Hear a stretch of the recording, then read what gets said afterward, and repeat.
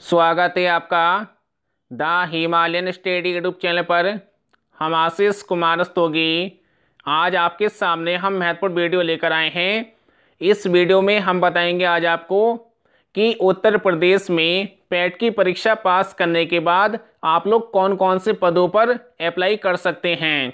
और खाली पदों का पूरा ब्यौरा आज आपको इस वीडियो के माध्यम से बताया जाएगा।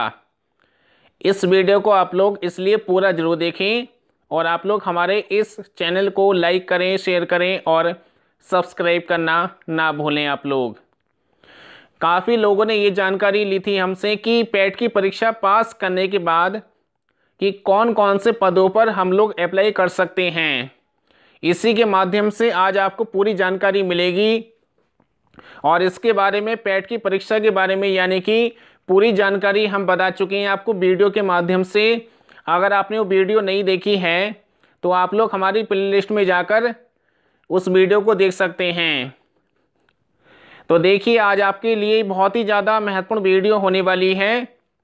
जैसे कि इसमें लिखा है कि पैट पास करने के बाद खाली पदों का पूरा ब्यौरा, यानी कि पैट की परीक्षा के लिए न्यूनतम योग्यता इंटर मांगी गई है। और इसके आवेदन जो हैं, जल्द शुरू होने वाले हैं उत्तर प्रदेश में। अगर आप इस परीक्षा को पास कर लेते हैं, यानी कि पैट की परीक्षा पास कर लेते हैं तो आप लोग कौन कौन से पदों पर अप्लाई कर सकते हैं, ये पूरा ब्यौरा आज आपके सामने है। देखिए, इसमें लिखा है कि महत्वपूर्ण खाली पदों का ब्यौरा। इसमें लिखा है कि लेखपाल के लगभग उत्तर प्रदेश में सात हज़ार आठ सौ बयासी पद खाली हैं। और इसके बाद है बेसिक शिक्षा में एक हज़ार पचपन पद इसमें खाली हैं और इसके बाद है माध्यमिक शिक्षा में 500 पद खाली हैं और इसके बाद है विभिन्न विभागों में लिपिक के पद खाली हैं इस समय सात हज़ार पद। इसके बाद है इसमें कि लेखा परीक्षक के पद 1303 पद इसमें खाली हैं और इसके बाद है ग्राम्य विकास में सोलह पद इस समय रिक्त हैं। और इसके बाद परिवार कल्याण में 9222 पद रिक्त हैं। और आगे लिखा है कि बाल विकास पुष्टाहार में 3448 पद इस समय रिक्त चल रहे हैं। और इसके बाद इसमें नगर निकाय में तीन सौ तिरासी पद हैं। लेकिन आपको बता दें, इसमें सभी के लिए, उसके बाद इसमें अलग अलग योग्यता मांगी जाएगी। जैसे कि लेखपाल के लिए ट्रिपल सी होना आपके लिए ज़रूरी है।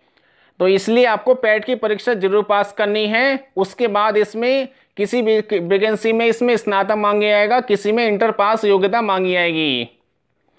तो ये वीडियो आपको कैसी लगी, आप लोग हमें कमेंट बॉक्स में ज़रूर बताएँ। जिससे कि आगे भी हम इसी प्रकार की नई नई वीडियो आपको इसी चैनल के माध्यम से प्रोवाइड कराते रहेंगे।